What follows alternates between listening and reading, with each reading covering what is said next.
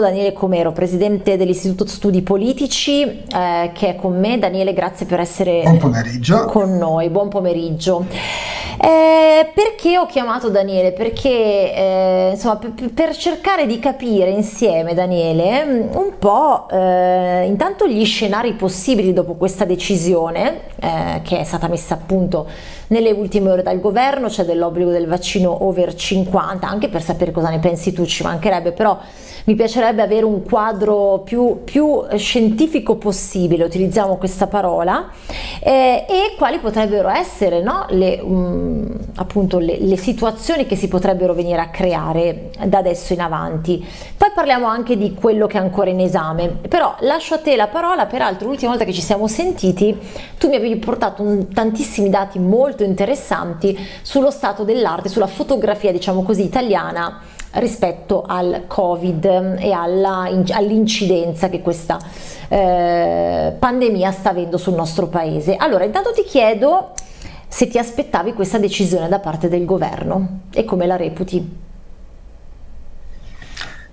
Ma sono probabilmente sono più decisioni politiche che non tecniche e adesso lo vedremo. Sì. E poi questo, adesso io non vorrei fare un'analisi politologica perché è meglio attenersi ai, ai, dati. Da un punto di vista politico valga un solo esempio per tutti, insomma, chi ha, visto, chi ha seguito ieri sera un po' questo, questo affanno eh, intorno alla riunione del Consiglio dei Ministri, la, alla lunghezza spropositata e poi alla fine alle 9 di sera, 9 9 e un quarto mi sembra, abbiamo visto eh, tre ministri uscire in pia- una piazza buia, piazza Chigi, uscire lì davanti a Palazzo Chigi e fare un'improvvisata conferenza stampa. Questo direi che da un punto di vista plastico rappresenta bene lo stato attuale, insomma, del, e, e, soprattutto anche chi erano i tre ministri per capire e soprattutto dove era Draghi e dove erano tutti gli altri. Quindi è una scelta politica voluta da quella parte, eh, da quelli che si sono presentati in piazza, insomma. E il ministro Bianchi a un certo punto ha concluso dicendo siamo esattamente dove volevamo, dove dovevamo essere. E quindi mm. è una considerazione, cioè come dire, eh, qualunque siano i dati, noi dovevamo essere qua. Ah, Bene. ok. Allora, adesso, questo è da un punto di vista però andiamo a vedere, no, no, no, chiarissimo. Però. Bravissimo. Allora io vado su uh, un, uh, a tua cura, insomma, hai, hai, raccolto un po' di dati, poi lascio a te la parola. Ah, sì. Ok. Ecco, ti ho mandato delle, um, una, una breve non so se riesci a farla vedere o se la posso far vedere io. Allora, se tu vuoi farla vedere così ti seguiamo esattamente mentre sì. parli è meglio. Allora, vediamo sì. se riesci okay. a condividere così vediamo se ce la facciamo. Se no, dovrei comunque averla anch'io e eh, vediamo se, se, ti riesco a seguire io. Adesso un istante che ci... Sì. Mi... Ecco, con... Eh, condividi schermo. Esatto, dovresti riuscire a fare così. Vediamo, ecco qua, sta ecco. comparendo tutto, perfetto, vai. Perfetto. Allora raccontaci tu, così è molto meglio, così ti seguiamo, vai. allora parto, poi questo è anche l'inizio, è un articolo che ho fatto per Civica, civica.one, chi vuole andare a leggerlo. Sì. Perché l'avevo fatto sentendo eh, l'ultimo dell'anno il presidente Mattarella che diceva che il, il vaccino non garantisce la invulnerabilità. Allora mi, so, mi sono chiesto, siccome un presidente come lui parla sempre a ragion veduta, non è che dice una cosa così tanto per dire, insomma. Allora mi sono chiesto che dati avessi in mano eh, per fare questa affermazione. E allora ho visto, ho trovato subito, in effetti è uscito proprio quel giorno lì, il rapporto dell'Istituto Superiore della Sanità è un bollettino, l'ultimo del, del 2021, che poi hanno aggiornato ancora anche l'altro ieri, ed ha una definizione eh, abbastanza interessante uh-huh. delle varie categorie. Si sono formati dei gruppi sociali, insomma. I nuovi gruppi sociali sono eh, le persone che sono vaccinate complete con terza dose booster e sono 5,6 milioni. I vaccinati completi da più di 120 giorni sono 26 milioni. I vaccinati completi con meno di 120 giorni 13 milioni e i vaccinati incompleti 1,5 milioni, i non vaccinati sono quasi 7 milioni. Quindi abbiamo vari gruppi sociali che interagiscono in modo diverso con eh, l'epidemia. Questo è, importantissimo per, per, capire quali sono i gruppi insomma, e le, le, dinamiche che ogni gruppo ha, che non è paragonabile. Sì. E, e poi le, diciamo, eh, il quadro di analisi dei dati viene sempre rapportato a, a questi, insomma. Cioè, ehm, ad esempio è, è molto importante eh, questa distinzione dei vaccinati con più di 120 giorni o con meno di 120 giorni. Questa diciamo che è la categoria principale, più che quella dei non vaccinati. Insomma. Ok, Perché ok. Probabilmente questo si riferiva al Presidente Mattarella, cioè eh, probabilmente il, il, vaccino ha una, cioè, una garanzia, diciamo, scade, e eh, decade con, nel corso del tempo. Decade e quindi ha bisogno di una dose booster e questo lo si vede dai dati statistici. La dose eh, rinforza, ma nessuno sa quanto, quanto durerà. Io in questo articolo ho pubblicato un parere di scienziati americani che dicevano non sappiamo ancora eh, quanto durerà, quanti mesi, però è solo questione di mesi, non è che sia una questione che garantisce poi ci sarà una quarta, una quinta, una sesta, insomma, bisogna vedere come andranno le cose. Diciamo che per quello che, per quello che riguarda l'Italia, i diagnosticati positivi nell'ultimo mese sono stati 570.000. Ok. Tra questi, i, solo 170.000 sono, da, um, sono stati trovati tra i non vaccinati. Quindi c'è tutto il problema dei reinfettati e all'interno di questo gruppo di reinfettati il problema indubbiamente più grosso è, il problema, è quello del, degli operatori sanitari reinfettati, perché una persona normale diciamo, sta a casa e finita lì la questione, è un problema suo, un problema della ditta. Invece gli operatori sanitari reinfettati eh, diminuiscono la capacità operativa del sistema sanitario proprio in questo momento in cui si ha bisogno che siano tutti presenti e un, un, po' perché le norme sono state fatte così, ma al di là che stia bene o che stia male la persona, però le norme sono impostate così e quindi praticamente è un sistema che si mangia la coda, insomma. Mm. Imposti norme severe e queste norme severe ti, eh, subito ti tagliano via le, le, ali, ti tagliano la coda perché fai stare a casa il tuo, il tuo, personale, al di là che stia bene, che non stia bene, che sei sintomatico sei asintomatico, sei trasmetti o, no, o, non trasmetti. Quindi fondamentalmente bisognerebbe analizzare i dati in modo diverso, questo è un po' il concetto di partenza, Daniele. Ma, mm. ma io riporto quello che ho visto eh, per no, no, certo, questo, certo, certo, certo. Ieri mi sono messo lì, ho guardato, vediamo un po' com'è la situazione adesso. E la categoria dei reinfettati adesso è diventata grossa, mentre eh, a novembre, quando abbiamo fatto l'ultimo incontro, era una cosa marginale proprio, eh, adesso invece è, è segnalata con, con, grande... e ci sono tanti dati su questo, perché ha influenza proprio su, sugli operatori sanitari e l'influenza è nefasta, insomma, da questo punto di vista. Va bene. Quindi, eh, diciamo, eh, sono tanti guardate qua sono 400.000 quelli che sono reinfettati tra, tra, i vaccinati, è una cosa di, una, di, un, di, un, di un, grosso rilievo. Ecco, poi, poi? valutiamo, sì? ecco, allora, i criteri per stabilire se c'è l'emergenza oppure no. Okay. Allora, ecco, eh, riprendo una vecchia, cioè, un vecchio problema insomma, che abbiamo in Italia è che i provvedimenti normativi sovente non sono appoggiati su nulla se non sul, sul voglio fare, però questi erano i provvedimenti del re che diceva voglio fare eh, una volta. Eh, adesso siamo in, in, in, democrazia repubblicana, parlamentare, e un provvedimento d'urgenza come, come questo, come, come, gli altri, perché eh, ricordiamoci che c'è una, una specie di trenino di provvedimenti c'è un treno che è abbastanza lungo di provvedimenti eh, normativi, decreti legge che sono stati emessi, sono tutti abbastanza corposi eh, e son, non sono ancora stati approvati e uno modifica l'altro o aggiunge all'altro. La lettura di questi provvedimenti vi assicuro che è veramente ostica, cioè io faccio veramente, fa- e sono abituato, e faccio veramente fatica, insomma stamattina mi sono messo lì per vedere nella bozza, nella velina che è perché per ora gira solo la velina, sapete che c'è questa abitudine che eh, c'è, c'è, la delibera, ma il testo definitivo arriverà dopo un giorno, due o tre o quattro, insomma, ci saranno delle limature probabilmente. Sì. E quindi ragioniamo sulle, sulle, veline, e quindi le veline sono sempre pericolose, eh, perché basta modificare una virgola in questo impianto. Ok, ok.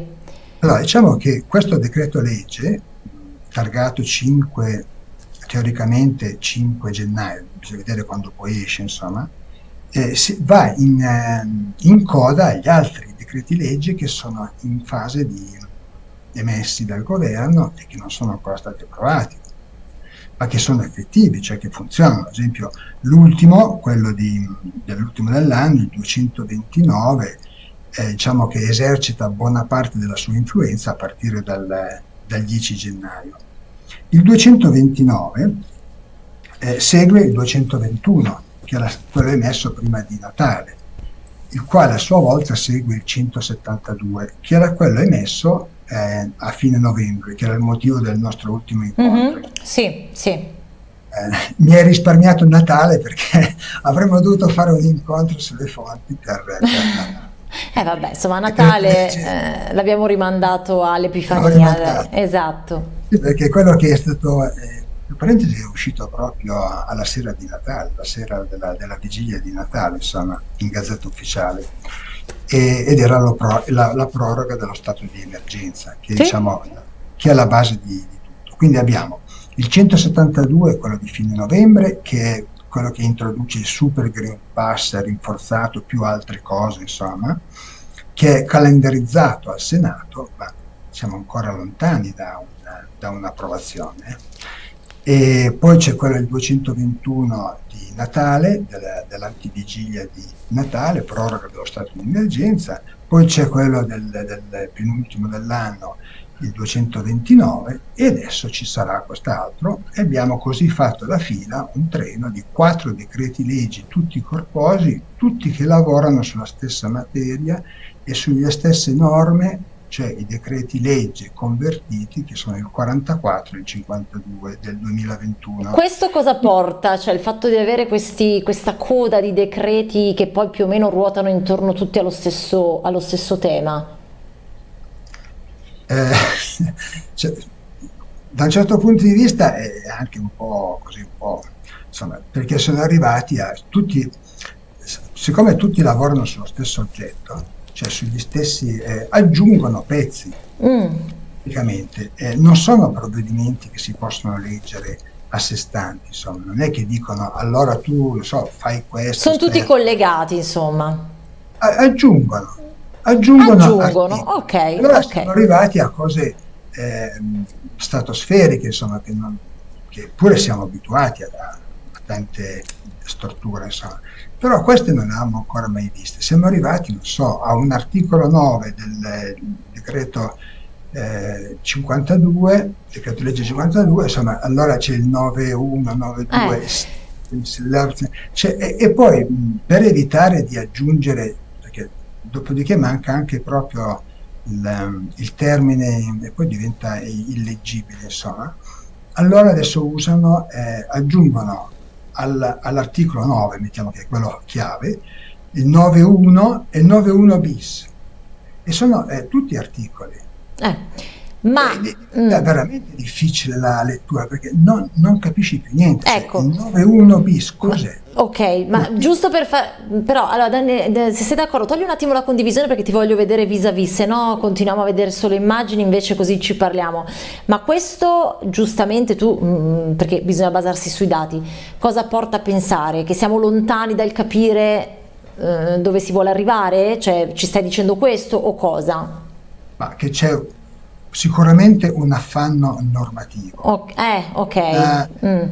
che sta... Mh, mm, che, cioè, non è che occorre essere del, degli indovini, cioè, qui abbiamo davanti l'elezione del capo dello, dello, dello Stato, cioè praticamente le Camere un po' ferme, insomma, che vengono dopo certo. una, una, sosta, dopo la, la, la, legge finanziaria, provvedimenti in coda di, di, di, questo genere, di questa rilevanza, che hanno incidenza sulle libertà personali, eh, insomma, eh, è un azzardo grosso, insomma, un azzardo grosso anche... E poi questi promettono, tipo questo ultimo, e anche gli altri, insomma, tutti più o meno nello stesso schema, che fanno dei figli. Cioè, questo eh, approvato ieri sera è già scritto nella, nella velina che ci saranno dei DPCM attuativi. Certo, ah, i famosi e DPCM. Eh, i DPCM non sono, cioè, abbiamo imparato a non sottovalutare. No, no, no, anzi, non ne potevamo più no. di questi DPCM, mamma mia, era diventato un incubo, no? Con le diciamo conferenze Draghi, stampe serali. Mm. Diciamo che Draghi è più accorto, è più accorto, però insomma la compagine è quella che è. È insomma. quella, certo. E poi soprattutto eh, la... siamo ancora in una fase simile a quella, a quella eh, de, de, dell'allora Presidente del Consiglio Conte, no? Eh, insomma, bisogna decidere tutte queste restrizioni, tutti questi provvedimenti. Adesso vediamo i dati eh, sulle, sulle, restrizioni e sui provvedimenti. Sì, dobbiamo, dobbiamo, correre un pochino però Daniele, perché se no piuttosto okay. ci sentiamo un'altra volta, però fammi vedere questi dati e poi ti saluto, sì, perché io fra poco devo chiudere, sì. Ok faccio vedere i dati. Allora, condividiamo giusto allora, i dati sulle restrizioni, eh, vai. Perché mh, nei provvedimenti non, viene, non, vengono citati i dati, eh. dice solo vista la situazione di emergenza. Ok, quali sono? Li voglio vedere e poi magari, allora, ripeto, questo, ci risentiamo. Sì? Il, il, quello che dovrebbe aver visto il Comitato Tecnico Scientifico. Mm. Eh, ci sono una serie di indicatori che avevano costruito. Uno di questi è l'occupazione delle delle terapie intensive. Allora, lo, viene detto, adesso per televisione viene detto che le terapie intensive sono, cioè, sono in aumento l'occupazione. Sì. Allora, questa è un, una cosa che ho tirato giù stamattina dal, dal sito apposito della Presidenza del eh, Consiglio, dove c'è proprio questi indicatori monitorati, ecco questa è, è, la foto del monitoraggio di questa mattina. Come vedete eh, c'è una terapia intensiva occupata a meno del, del 20%, cioè ci sono i letti vuoti, insomma. Ecco, questo è il punto. Il primo punto è che bisogna tenere a mente questi dati per valutare, poi ognuno valuta se c'è o meno l'emergenza. Io non sono un medico, quindi non posso valutarla questa parte. Ok, no, no, beh, certo, questo assolutamente. È, mm-hmm. uh, è la tabella eh, dell'occupazione nelle varie regioni. Si vede che si va da un minimo di un 5, 6, 11 fino anche c'è un 23%, però siamo in questo, in questo range, sì. siamo 23% è il massimo. Ok. Poi l'altro dato importante che viene citato è l'aumento dei positivi. Abbiamo visto che l'aumento dei positivi, l'abbiamo visto prima in quegli altri dati, sempre dell'Istituto Superiore della Sanità, tantissimi sono tra i vaccinati cioè, solo 170.000 sono dei, dei 570, solo 170.000 sono dei non vaccinati, gli altri sono vaccinati. Eh? Quindi vediamo che anche qui c'è un cane che si morde la coda. Mm-hmm, ok. Eh, l'altro dato importante per valutare questo... Sì, dammi l'ultimo dato importante, poi guarda Beh, Daniele, ci risentiamo la, fra qualche questa giorno. Questa esplosione, sì? cioè per motivi di legge, sì? c'è l'esplosione del numero di tamponi.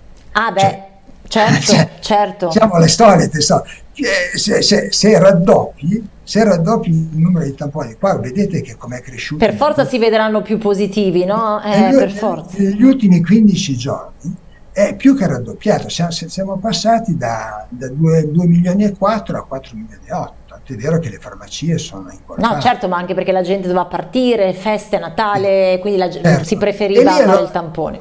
E lì si è scoperto che tantissimi sono già, già vaccinati. Okay. Questo era un dato importante. Okay. Eh, questo è il dato dei, de, degli infettati. Si vede che non è in crescita, cioè c'è stato il picco prima mm. di Natale probabilmente per quel motivo lì, insomma, e poi dopo le, le, le cose stanno rientrando, c'è questo, questa esplosione, insomma. Eh, per classi d'età si vede che è abbastanza standard, riflette quella che è la struttura per età italiana, quindi niente di particolare da segnalare, non è che i bambini sono di più o gli altri sono di meno, più o meno sì. uguali. E eh, questa è la cosa principale che viene confermata. Sì. Deve, allora, eh, quelli che sono eh, positivi, quant, mh, che problemi hanno? Allora, in verde sono gli asintomatici. Ok, cioè poi dopo devo chiudere veramente però Daniele, dammi questo. Critici, poi, ok, sì. Sono, sono, quelle righettine rosse in alto. Sì. Critici, cioè siamo nell'ordine dell'1%. Eh, quindi proprio poco, poco, poco. Okay. Nelle classi anziane e nei bambini piccolissimi. Basta. Okay. Il resto è, sono, cioè, è, è questo, cioè, no. o lieve sintomatico. E, o... È certo, è certo. No, no, ma io non è che voglio chiudere qui il discorso, lo voglio chiudere adesso perché devo chiudere il blocco, però insomma Daniele, sì. tu sei sempre super disponibile e ti ringrazio. Intanto io invito... L'ultima cosa, l'ultimissima dai, cosa. L'ultimissima, dai. Il, il, pericolo più grosso lo si valuta sì. eh, per il danno maggiore che, che, che la morte. Allora, eh. Eh, la mortalità è cresciuta in questo periodo e questo ad esempio è un sistema che prevede la mortalità utilizzando le città campioni, quelle più grosse e si vede che è un po' in, in, risalita, ma è un fatto normale stagionale, lo vedete è successo anche nel 2016, nel 2018, nel 2019, mm. è un fatto stagionale. E se volete, eh, vi faccio vedere l'ultima che l'avevo messa in fondo. Sì, ok, poi però ti saluto velocissimamente, eh, sì. Ecco, l'Italia, vedete, ho messo qua, eh, questo è il sistema europeo di segnalazione della mortalità eh, eh, eccedente. Sì. Cioè, c'è qualcosa in più? Allora, vedete che l'Italia in questo momento è perfettamente dentro i range, e così anche Israele, Ungheria, eh, Grecia e Germania. Cioè, non c'è questo pericolo eh, okay. calcolato in termini di, di morte, non ci sono questi Ok, allora Daniele, va bene, beh, cioè, questi dati sono importantissimi, come detto non voglio chiudere il discorso, lo chiudiamo solo oggi, era giusto aprirlo perché comunque le decisioni sono calde, intanto togli la condivisione così ti saluto, invito ai nostri telespettatori a prendere eventualmente contatto con tutti i canali che ti riguardano, eh, così almeno possono già vedere anche questi dati. E poi magari già la settimana prossima ci risentiamo se vuoi e continuiamo da dove ci siamo interrotti interrotti, magari proprio eh. riprendendo anche alcuni numeri che ci hai portato oggi. Il testo definitivo. Del... Eh, bravo, bravi. infatti stavo dicendo eh, anche con... Anche le virgole, eh, sì, eh, bravo. Quindi studia appena arriva tutto perché poi lo, lo riportiamo qui. Grazie a Daniele Comero, Presidente Istituto Studi Politici, davvero grazie mille perché questi sono dati importanti e spesso non si guardano. Invece noi vogliamo farlo. Buona giornata. Buona giornata a voi. Grazie. Grazie.